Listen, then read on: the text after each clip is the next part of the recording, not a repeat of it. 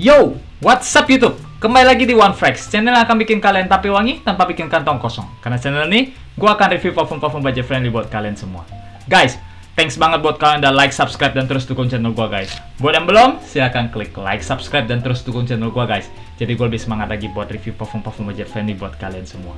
Guys, jadi di kesempatan kali ini guys, gue mau kasih kalian 5 parfum blue fragrance, semuanya blue fragrance ya, yang pernah gue review di sini, yang menurut gue tuh cocok banget buat musim panas. Oke, okay? tapi ini lima limanya blue fragrance. Jadi uh, kita tahu sendiri ya, blue fragrance itu tipikal-tipikal parfum fresh, lemon, lime yang citrus-citrus gitu. Oke, okay? dengan sedikit-sedikit uh, sentuhan oceanic gitu. Oke okay, guys, jadi ini 5 blue fragrance yang cocok buat kalian pakai di musim panas. Check it out guys.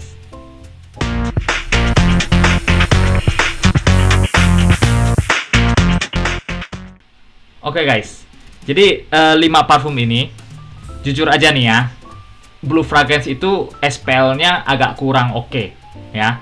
Rata itu memang standarnya Blue Fragrance begitu karena kan kita pakai buat musim panas dan matahari menyengat. Jadinya ya ini sekitar 4-5 jam lah. Tapi ada satu yang masih bismuth. Tapi karena gua punya masih batch-batch awal. Oke okay, guys, jadi gue mau kasih tunjuk kalian yang pertama adalah ini guys. Blue jeans dari Versace. Oke? Okay? saya lihat di kamera guys. Oke? Okay? blue jeans dari Versace. Ini parfum ya.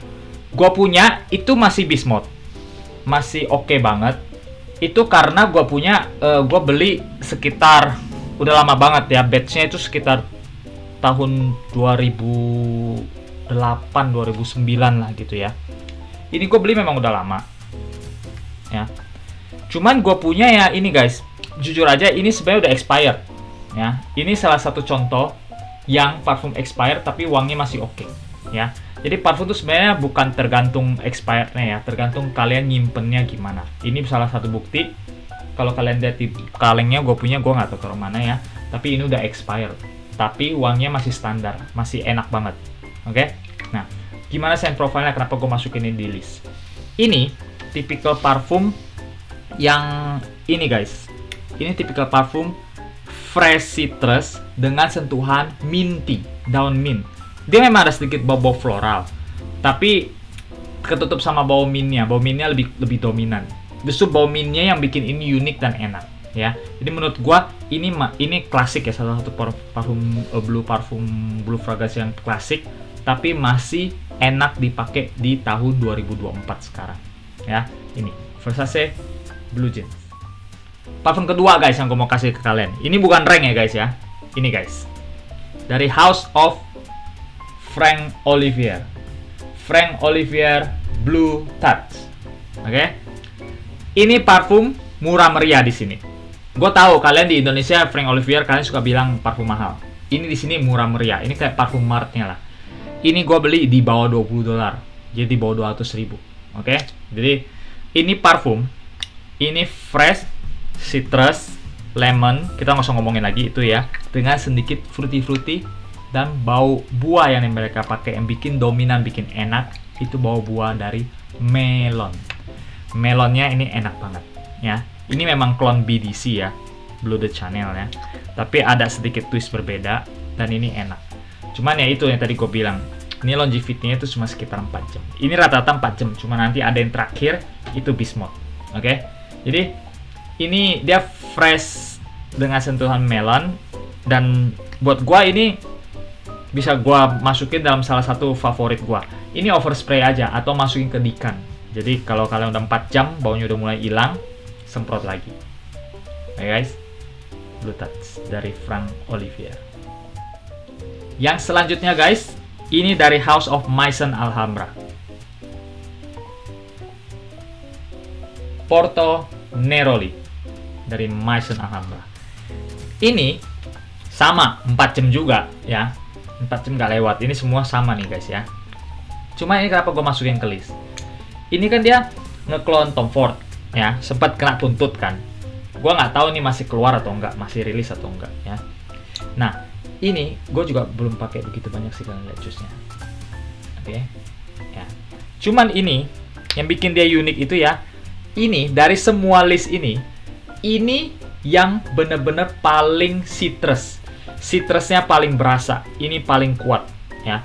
Jadi citrus lem, eh lem, lemon dan lime-nya ini paling enak banget. Ditambah dengan sesuai dengan namanya Porto Neroli dengan sedikit eh, bunga-bunga uh, neroli ya. Jadi ini ada sedikit bau floral dan ini ya memang dari semua parfum blue fragrance yang di list ini ini yang paling bunga-bunga, paling floral. Tapi bunga-bunganya bukan berarti uh, bunga-bunga yang kayak misalnya lebih bikin kalian feminim ya. Enggak, ini unisex banget. Oke? Okay? Ini unisex banget. Jadi fresh floral unisex. Oke, okay? bukan fresh floral feminim. Oke? Okay? Jadi ini gue masukin ke list karena ini salah satu blue fragrance yang menurut gue wanginya unik dan enak. Maison Alhambra Porto Neroli. Yang selanjutnya guys, nih guys, original blend dari Penguin. Oke, okay? ini kalian bisa lihat ya, gue pakai udah lumayan banyak nih guys oke. Okay. ini aku pakai lumayan banyak karena ini salah satu parfum murah murah banget. Ini sekitar gue beli sekitar di bawah 20 dolar juga. Dan gue suka overspray.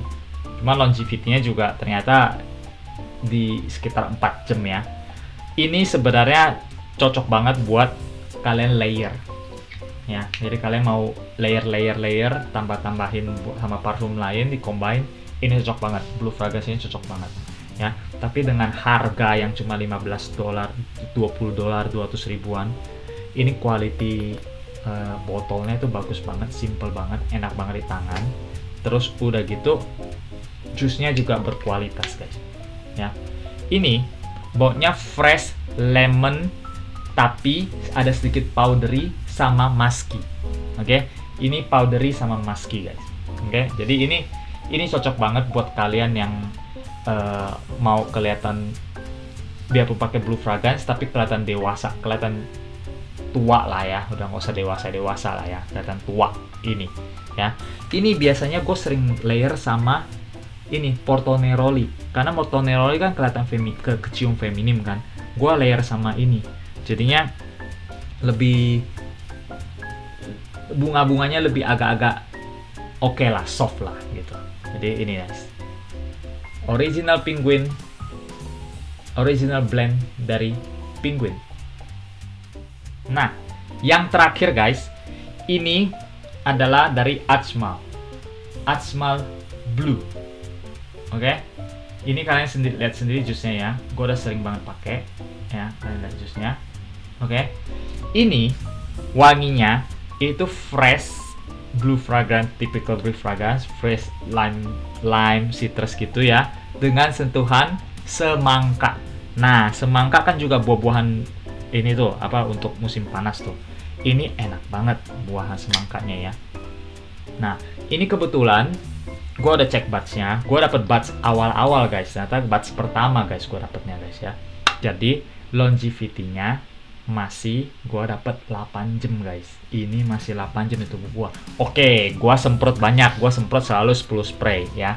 Tapi itulah cara gua ngetes 10 spray ya. Ini sama ini gua masih dapat yang batch-batch awal. Masih dapat dapat batch awal beast mode ya. Jadi uh, longevity-nya masih oke okay banget.